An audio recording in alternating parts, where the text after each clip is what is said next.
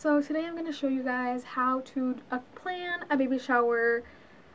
Um, I'm trying to show you guys how to plan a baby shower because I feel like it's something that um, everyone may have to do in the future because I most of us have sisters or um, friends that we're really close to. Um, some of you guys are going to have wives that you might want to plan a baby shower for.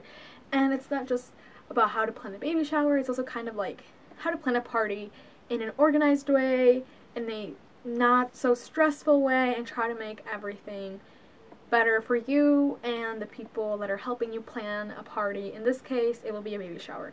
The reason I chose to do a baby shower is because my sister is actually pregnant and she is gonna have a baby girl and I'm planning this baby shower for her because I'm her only sister and I thought it would be something really nice of me to do for her.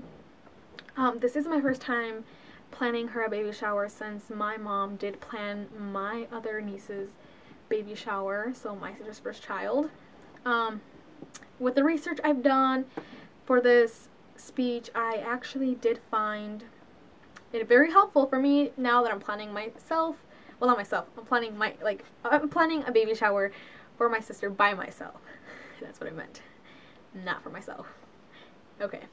So, uh, one of the biggest factors in planning a baby shower is when. So you need to be aware of the weather and the time and everything. It's so important. So if it's in the middle of the winter, you would probably want to have a baby shower indoors, correct? So that's why choosing one is also a good time. And also a very, very important factor is realizing that once the mom hits 35 weeks pregnant, that baby could possibly come out anytime. So the baby shower should be planned about the mom's 30th to 33 weeks pregnant. So that's about seven months, I think. I actually don't know. But I do know the rest. Um, so yeah, deciding when is key to everything, basically. If it's hot outside, you could probably do it in a park, and you could probably host more people and stuff like that. Um, so getting a guest list. As I said, very important because you need to make sure that the guest list includes the moms, or the soon-to-be mom, um, friends, family, high school, college friends she had, work, co-workers, you know, people she enjoys and genuinely will support her through having her first or second or third or fourth child, you know? And it also, the amount of people you invite will actually affect the budget, so you might want to be careful there. So yeah, that's very important. And you also need to find a host. So that could be a sister, the mom, sister-in-law, best friend, a host that will be willing to kind of speak up and be like, oh, we're going to play games now. Or, oh, we're going to eat and just chill for a while and then play games. Or let's have some cake, you know? You know, who wants to be a host? Um, start, starting with a theme is key according to babylist.com. So the theme will obviously be according to the baby's gender, um, it could be blue for a boy, that's typically what goes and happens. Or it could be pink, purple for a girl. It could be mini.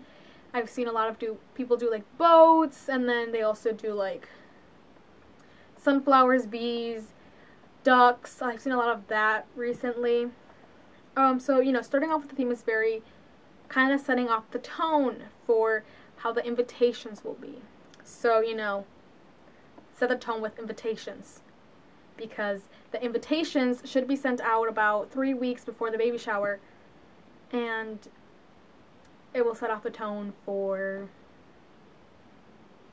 how many you know if you want a very big baby shower really family friend baby shower if you wanted to make it like a cookout baby shower or just uh, the invitations will set off the tone for how you want to do this and according to aboutamom.com, you need to be aware if this if the mom's baby is the first, second, or third child. Why is it so important? It's very important to know if if this is the mom's first baby, you need to know that the mom probably doesn't have everything. So it's her first baby. She may not have a car seat. She may not have a crib.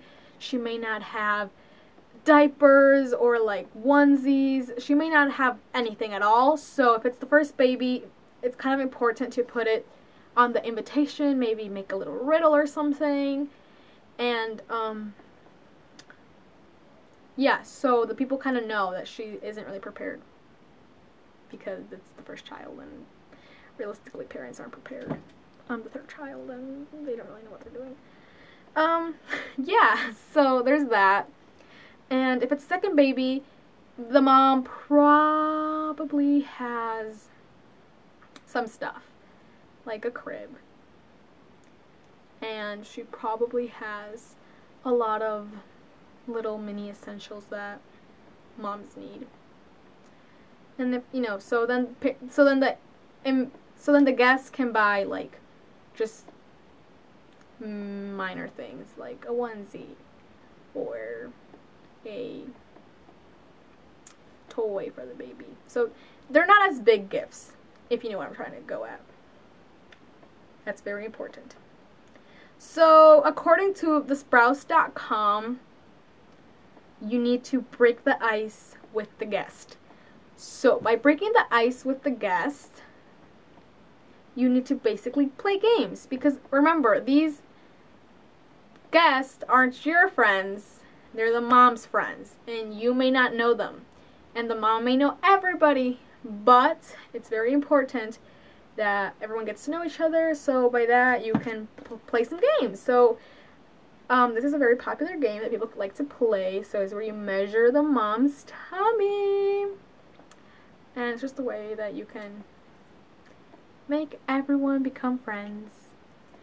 And so yeah, just icebreakers in a way. But it's not like high school icebreakers where you're just gonna, what's your name? You know, it's like, let's play games. And remember, it has to be appropriate because it's a baby shower. I've seen a lot of videos of people do really weird stuff and it's not a bachelorette party, it's a baby shower. A baby. So, um, I kind of want to get with some decoration stuff that I kind of thought I could show you guys since I'm kind of planning my sister's baby shower. Um, so we are having a baby girl, and I actually named the baby, which is so exciting. Um, the baby's name is going to be Gianna, which is Italian, and it basically means mercy in Italian.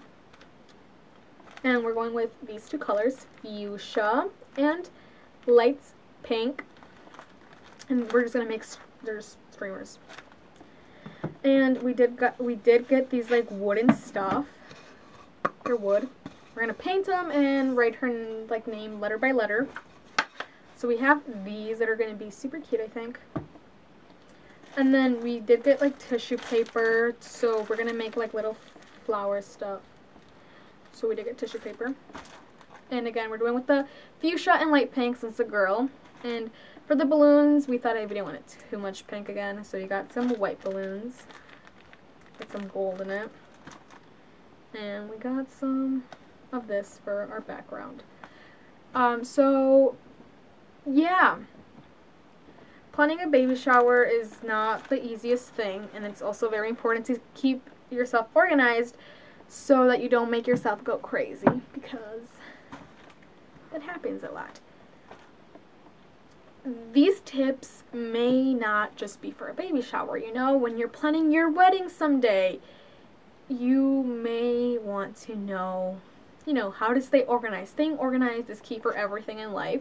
So therefore, I think that this video can help anyone when even planning maybe your sister's birthday party or your mom's birthday party or someday your own child's birthday party. I think these tips are kind of just they focus on a baby shower, but you can definitely think about it as you plan other stuff, you know? Bachelorette parties,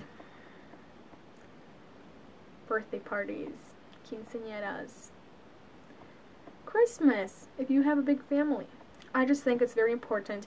Just always stay organized and make sure that you're kind of planning this with like three months in ahead in a way, if for smaller parties obviously. Three months in ahead so you go order by order and you just have it all together. And I hope you guys found this very useful because these tips actually saved me from planning a shower, baby shower in a month. So I hope it helps you guys and yeah. Thank you for watching.